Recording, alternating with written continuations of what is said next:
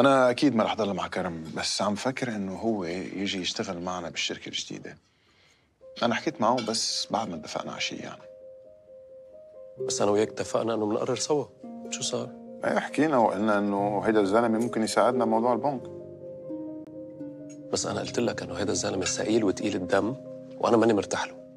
خليل بليز ما فينا نفوت مشاعرنا بالشغل.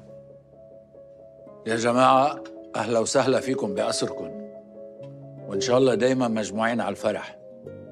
صحتكم. صحتكم جميعا. خلينا.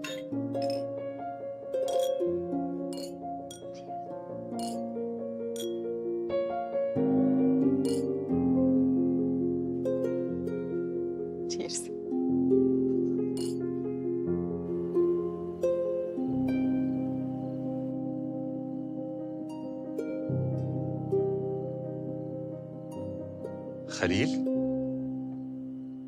لك فتشت عليك كل تواليتات القصر ما لقيتك. شغل بالي. امم معناته منخلي التواليت للمؤامرات الكبرى.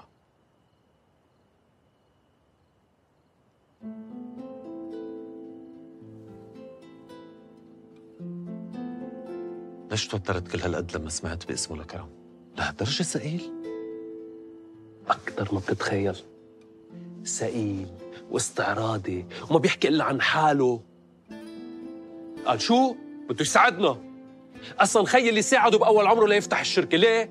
لأنه بيو كان أستاذه لفارس. بتعرف شو عمل لما فارس كان عم يشتغل عنده بالشركة؟ لك مكتب ما عطاه أنا محله لفارس. بحطه عند حده. ما بخليه يدعس عنا بالشركة. روق روق روق اهدى اهدى. ما بدك كل هالقد بالنهاية فارس بيعرف يحطه عند حده وقت السوق بس هو بقول خلينا نكون أحسن منه. ما خيك وأنت بتعرف.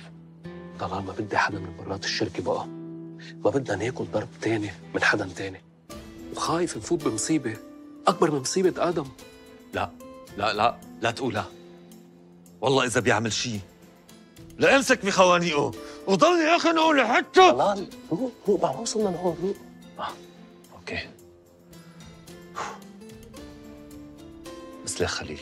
أهم شيء ما ترجع تعلق أنت وفارس م? وبنعطيه فرصة لهالسئيل. ما بتعرف شو بصير. بس بنضلنا مراقبينه من بعيد.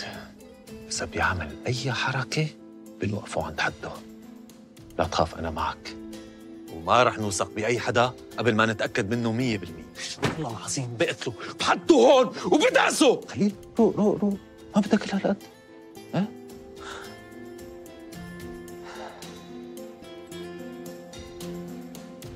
ليه خلينا نرجع لجوا بلا ما حدا ينتبه إنه في شيء?